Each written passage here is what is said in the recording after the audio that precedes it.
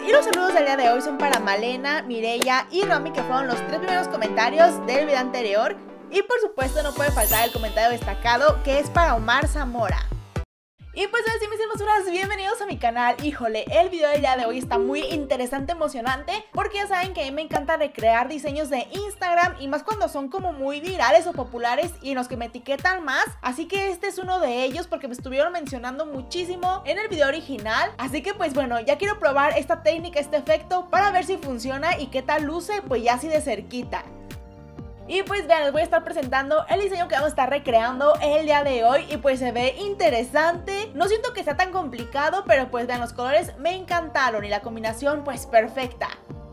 Y pues bueno, ya para comenzar voy a estar utilizando como nuestra base principal el gel en color blanco. Este lo voy a estar aplicando en capas ligeras en todas mis uñas. Este diseño desde que lo vi se me hizo, no sé, como más adecuado para la uña natural, para que fuera como el gel semipermanente, sin la aplicación de uña postiza o uña escultural. Igual más adelante en el video te voy a explicar por qué siento que quedaría mejor así, pero pues bueno, mientras tanto voy a seguir haciendo lo mismo, nuestra base blanca. Aquí estoy simulando como si fuera la uña natural, ya que en la base donde estoy aplicando mi color no lleva nada de acrílico.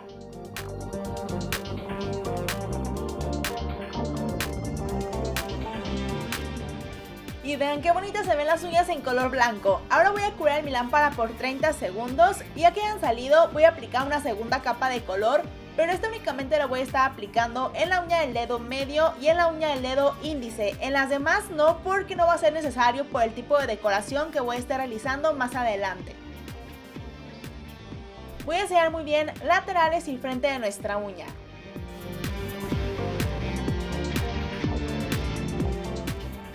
y nuevamente llevamos a lámpara por 30 segundos. Ya que han salido, fíjate, como en estas dos uñas básicamente ya no vamos a estar decorándolas ni haciéndoles nada, pues no tiene caso que quede el gel nada más así sin cubrir. Porque como voy a estar trabajando en las otras uñas, pues no voy a hacer que se nos llenen de pelusas o se nos ensucien. Así que de una vez voy a estar dando el terminado ya para que queden selladitas y no preocuparme por ellas. Ya que he sellado de la lámpara, voy a quitar el exceso viscoso que ha dejado mi brillo final. Ahora sí vamos a comenzar con lo interesante y lo emocionante de este diseño. Voy a estar utilizando como primer color este tono como amarillo muy neón, muy chillante y lo voy a estar aplicando igual en capas ligeras. Este tono lo voy a estar haciendo en la uña del dedo meñique y en la del dedo anular, que fue donde aplicamos únicamente una capa de color blanco. Esto lo estoy haciendo porque como voy a estar aplicando bastantes colores, ahora sí que uno tras otro, no vamos a requerir dos capas por color porque si no nos va a quedar una uñota muy ancha, así que nada más uno pero bien cubierto. Curen mi lámpara y ahora el siguiente color que voy a estar aplicando va a ser este rosa neón. Y voy a estar haciendo lo mismo, lo voy a aplicar sobre el color amarillo que ya había puesto. Oigan, se siente bien extraño estar colocando como color de gel tras color del gel de diferentes colores. Por lo regular ya saben que siempre es un tono y listo. Y pues aquí estamos experimentando este diseño. La ventaja de mis geles es que vienen con alta pigmentación, entonces aunque ponga una capa, pónganle que no queda tan intenso, pero sí se alcanza a cubrir yo creo que el 85%. Todas las capas las voy a estar curando en lámpara por color y ahora el siguiente va a ser este tono morado también intenso y lo voy a estar aplicando encima del rosa. Voy a tratar de cubrir muy bien toda nuestra base. Como te dije, estos geles son de alta pigmentación, pero aún así se llegan a ver algunas transparencias pero pues esto no va a afectar nada al diseño, no pasa nada. Porque como te dije, si utilizamos dos capas por color, pues van a quedar muy anchas nuestras uñas y se van a ver muy toscas. Ahora el siguiente color va a ser este tono de azul, que es como un intermedio. Siento que no está como tan azul cielo, ni tampoco tan azul marino. Y lo voy a estar aplicando igual, de la misma manera con capas ligeras.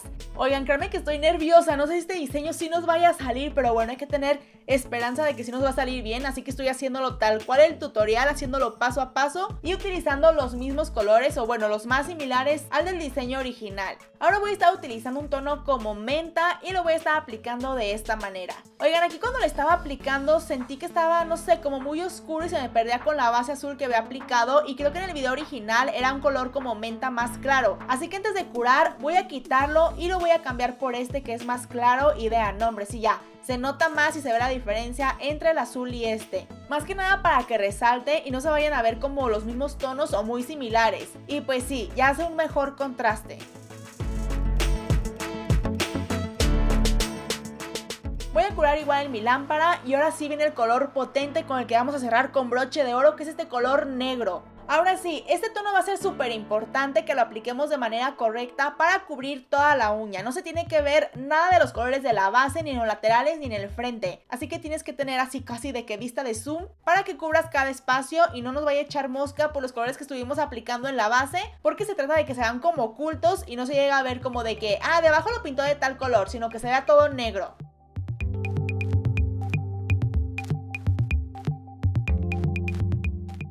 Y vuelvo a curar mi lámpara por 30 segundos. Ya que haya salido, todavía no apliqué mi brillo final ni nada, pero voy a estar quitando el exceso viscoso para que se vean así como mate sin brillo. Ahora sí, mis hermosuras, estoy ah, súper nerviosa, era el momento que más había esperado, pero el que más me da ansias, porque sí estuvo tedioso estar poniendo color tras color como para que lo arruine en este momento. Y pues bueno, la magia de este diseño es que con una lima que no esté tan potente, una así normalona, voy a comenzar a desgastar todos los colores en diferentes zonas. En el diseño original está en 2, así que siento que está muy bien por la simetría de la uña o más bien por el tamaño. Aquí con cuidadito voy a comenzar a limar para ir como desprendiendo cada capa de color y que se alcance a ver, ay, como si fuera la corteza terrestre. O bueno, no sé, yo cuando lo vi asimilé que parecía como esto que les acabo de decir. Y pues vean, aquí está quedando, oigan, se ve padrísimo.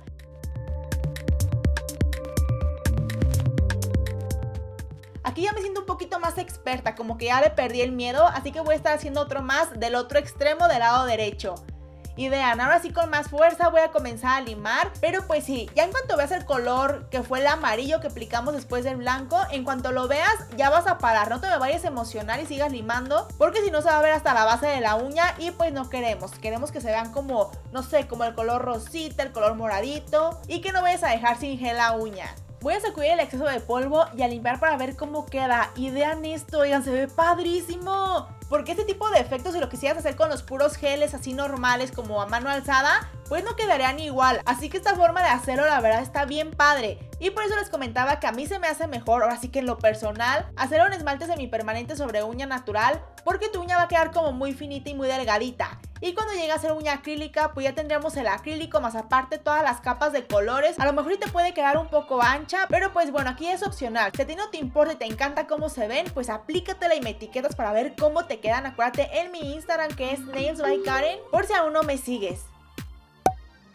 Y pues aquí estoy haciendo lo mismo en la uña del dedo anular, pero estoy haciéndolo como más larguito o más ancha la limada para que se vea pues sí, como más saturado. Y movimientos ligeros en una misma posición para comenzar a desprender los colores y que se vayan viendo así todos, todos.